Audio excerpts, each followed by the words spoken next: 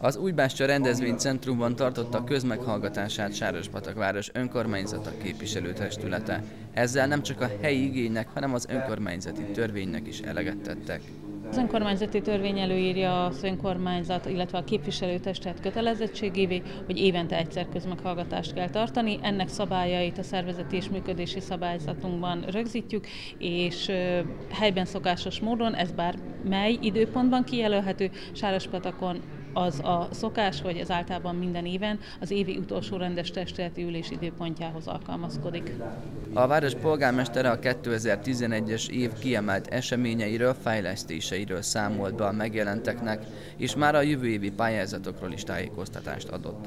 Ez a második Rákóczi Ferenc általános iskolának a, a második ütemnek a befejezése, az egynapos kistérségi betegellátóközpontnak a befejezése és átadása. Ma úgy döntöttünk, hogy az Esze Tamás általános iskolának az épületének a újjá alakításához, felújításához is hozzákezdünk, és következő év tavaszában pedig az úgynevezett belváros rehabilitációhoz, tehát a művöldés háza előtti térburkolatnak a felújításához, a tanítóképző udvarával történő egybenyitása és a piacnak a felújítása és ebbe a projektbe fog tartozni. A közigazgatásban zajló változások is szóba kerültek a közmeghallgatáson. Előttünk lévő bizonytalanságok és változások miatt őszintén meg kellett mondani, hogy nem tudok semmi biztatót mondani a 2012-re vonatkozóan is.